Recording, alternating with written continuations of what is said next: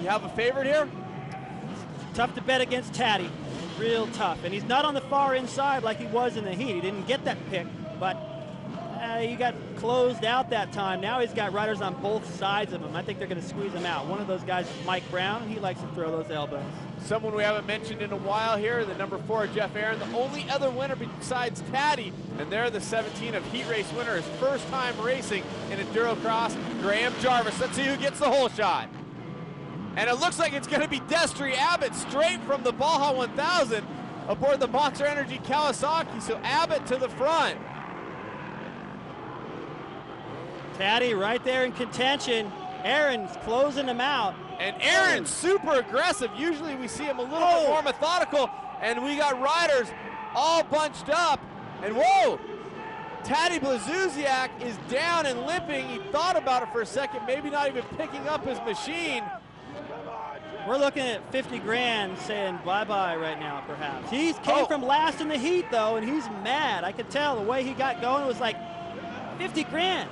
I got to get going. And he's certainly fast enough and talented enough to pass everybody. Plenty of time, a little bit longer race than the heat.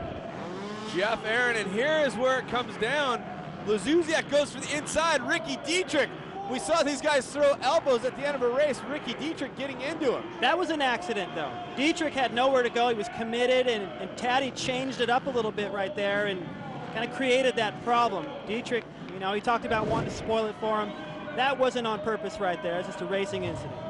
And Cory Graffunder on the 118 machine. We saw that oh. for a oh. second. Oh, and a little bit of lockup for Cory on the Husqvarna.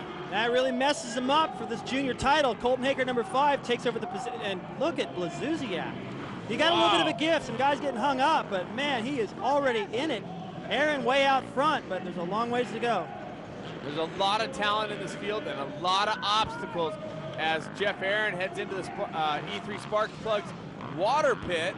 I like the jump coming out of the water pit. A lot of risk there with wet rocks and then water being carried along the track on the motorcycles as you see Blazusiak, who looked like he might have been hurt there at that initial crash and just making the move past Graffunder, who is hung up on that rock obstacle. A lot of people with problems on that rock obstacle this evening.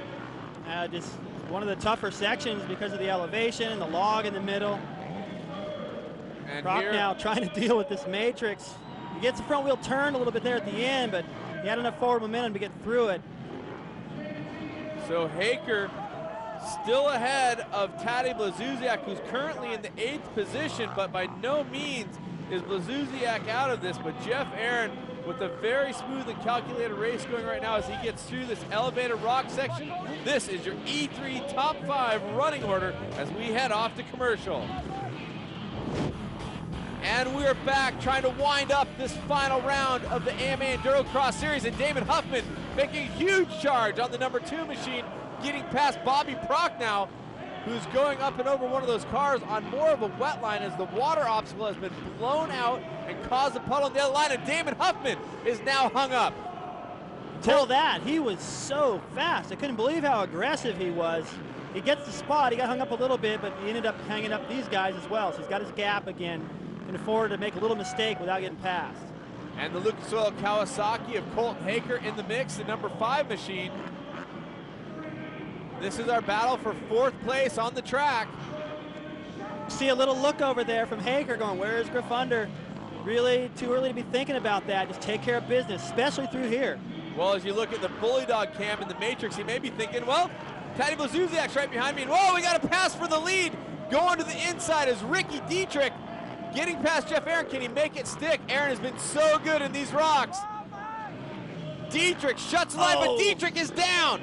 Little wheel tap oh. right there from, from uh, Aaron. Aaron carries the wheel over Dietrich's head. Aaron back to the front, but no, Dietrich jumps into the water. Huge amount of risk. The Monster Energy Kawasaki rider Ricky Dietrich risking it all and making it stick. That's some of that WORCS racing, high speed aggression stuff where he's got a little bit of an edge over Geoff Aaron, who's been riding motocross lately to try to get that as one of his tricks. But uh, clearly Dietrich wanting it a little bit more and charging a little bit harder. That Bully Dog camp doing work for us once again. As Dietrich leads, you mentioned the WORCS series, but Dietrich also doing a great job in the AMA Lucas Oil Motocross Series as well. I mean, just unbelievable talent by Dietrich showing people this year he can go fast on all kinds of conditions. That's right. He jumped into a AMA Motocross National, finished top five in his first outing. A lot of talk on the internet about, hey, you should just ride motocross. This guy can do a lot of things. Abbott hung up on the corner. Dietrich's got to negotiate around him, but has no problem. You see Aaron in the picture. Dietrich had to go off the track, get back over the log. Still not really affected by any of it. And jumping into the water, jumping out, and holding his gap over second place still. And maybe uh, Destry Abbott gassing out a little bit after racing the Baja 1000 and traveling all night to get to this event. Props to him for doing that, but Dietrich doing work, a man on a mission right now, firmly stated that he would like to be the spoiler for Taddy Blazusiak, and right now he is definitely playing that spoiler role. Colton Haaker got company now. Damon Huffman, last year's winner, trying to make the move. Down the inside of the matrix, he'll control the corner. Beautiful. And sometimes getting too aggressive in that matrix can cause problems, but Huffman had the line, and he just steals the spot, bullies his way past the young Haaker, but right now Haaker's in the position right now as we go to the white flag. If it finishes like this, Haaker will be your E3 Junior Spark Plugs champion. And he knows he can't win this race now. Leaders are gone. He's just got to be careful and put in a solid lap, not get lap, not get hung up anywhere and throw this championship away. It would be sweet for him to end it on oh. the podium though, and oh, and Haaker is down, but quickly jumps out from underneath his motorcycle. Very aware of his surroundings. It looks like that podium might be slipping away as Damon Huffman cruises out ahead, but right now way out ahead. Ricky Dietrich. Already a little bit of nodding with the head. He can sense it. He's won this thing. Showing why he had that number one plate last year. If it hadn't been for an injury, this guy may have been the champion. So Dietrich takes home the checkers. After being injured earlier in the year, he comes back in fine form.